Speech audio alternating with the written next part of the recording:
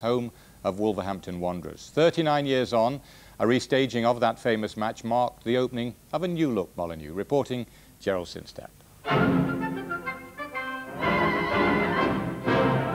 In the 1950s, everyone was afraid of the big bad Wolves.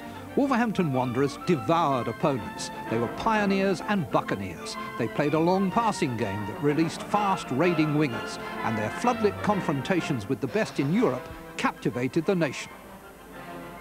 Smith. Johnny Hancock.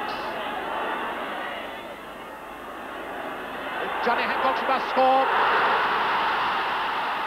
This week, they were all back again under the Molineux lights. The stars of yesteryear come to honour and be honoured at the start of a new era for Wolverhampton. They were recalling Wolves v Honved, Ferenc Puskás versus Billy Wright, played 39 years ago and still vivid in the memory. The Hungarian champions Honved challenge Wolverhampton Wanderers at the Molineux ground, Wolverhampton. Nearly 60,000 watch the Wolves kick off. Straight away, they're attacking up the right wing, showing the courage that swept them to victory over Spartak. I think it's one of those games that um, uh, stick with you for the rest of your life. I mean, when you read in the, uh, some of the manuals or some of the football books, 10 of the greatest games, and this is one of them. It must be one of them. And it, it, it was an honour to have played, isn't it, yeah? Machos leads the visitors upfield, but Williams is there. Shorthouse takes up the running. The Hungarians seem to settle down first on the mud pie pitch. I only remember it for a fantastic game. I remember it for uh, sitting back in amazement at the way Honved played in the first half. Budai, number seven, and Flowers give chase. The ball wraps Flowers' hand, and referee Griffiths awards a free kick to Hungary. Did he handle it or didn't he? No time to argue now, for Puskás takes the kick and Kocsis heads it home. Where were you when they scored their goals? On the pitch somewhere. uh, it was a cross, and Kocsis was brilliant in the air. Absolutely brilliant. He was a, a counter for Puskás. Puskás got the skill with the shooting ability. Hidegkuti pulled us away because of the deep line the way he played. But Kocsis was always on that far post, and if you hadn't got behind him or level with him, he was jump. He always jumped at the right time. The ball goes to Kocsis. On to Machos. Billy Wright's in pursuit. 2-0 is the half-time score.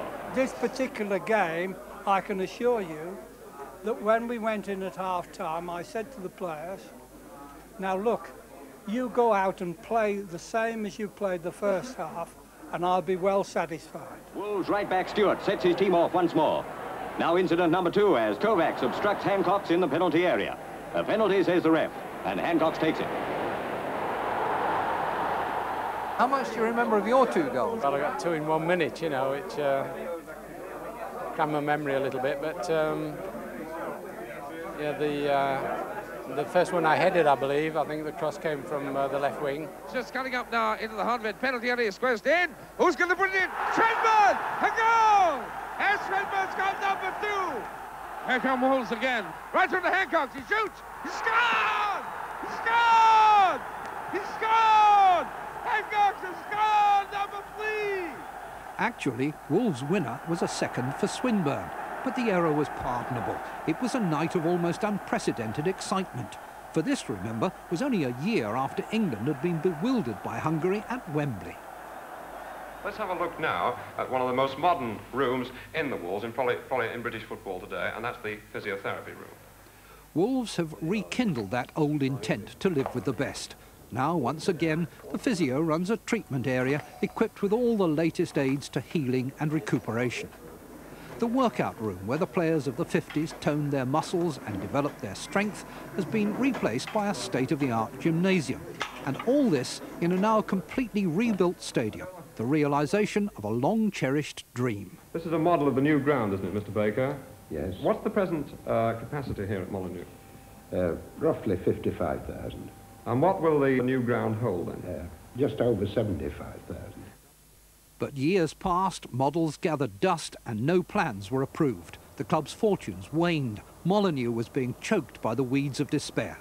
When Sir Jack Hayward bought control in 1990, it was on the point of being condemned.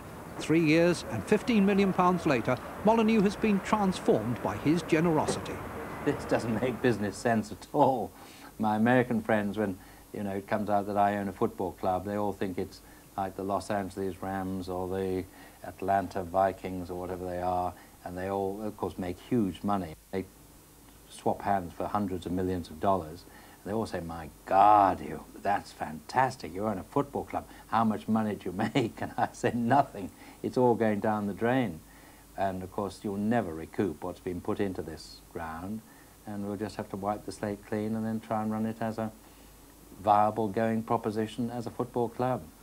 I think for father it was a, uh, the start of a dream come true where obviously the, the, the, team are not where we wanted to be yet but this is part of the, the finish of the dream uh, and we wanted just to go on from here and hope this is the start of a great new era for Wolverhampton Wanderers Football Club.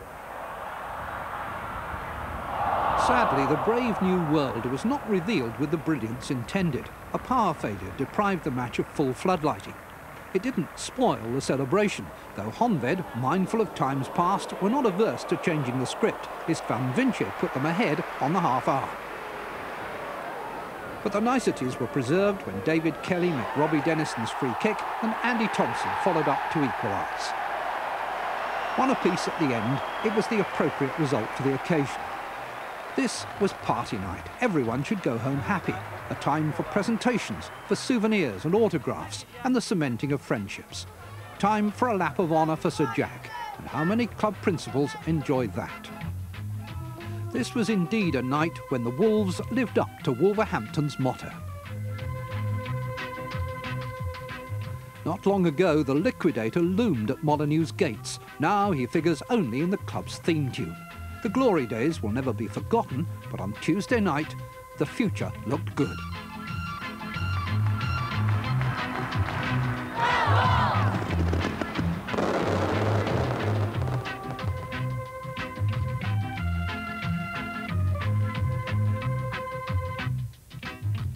Wonderful. A new dawn at Wolves, thanks to Sir Jack. I don't think it'll be long before they're really back. But none as significant as last night's official opening of the new stadium. After years of decline and neglect, Wolverhampton Wanderers are finally on course to reclaim their former glories. When you've watched your club twice go bust and your team relegated to the fourth division, you've every right to celebrate a new dawn in style. 28,500 came to fill the refurbished Molineux. They may need to build an extension before too long. Absolutely terrific, yeah, wonderful. What a sight. I mean, there isn't a vacant seat anywhere. Absolutely terrific. It was Sir Jack Hayward's money that made it all possible, but former chairman Jack Harris was given the honour of opening the stand that bears his name. I think possibly next to the, to the day that I got married is the greatest single event in my life. It was nearly 40 years ago that Wolves beat Honved in a classic footballing encounter.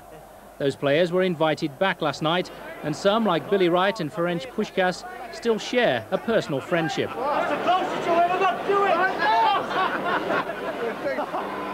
Honved christened the new stadium with a goal after just half an hour. And in the time-honoured tradition of Molineux fightbacks, Wolves equalised in the second half through Andy Thompson. A moment to savour for Sir Jack Hayward. The match finished in a diplomatic draw, but the celebrations continued well into the night. It's taken £14.5 million to spark life back into this famous old ground, and on last night's performance, it's been worth every penny.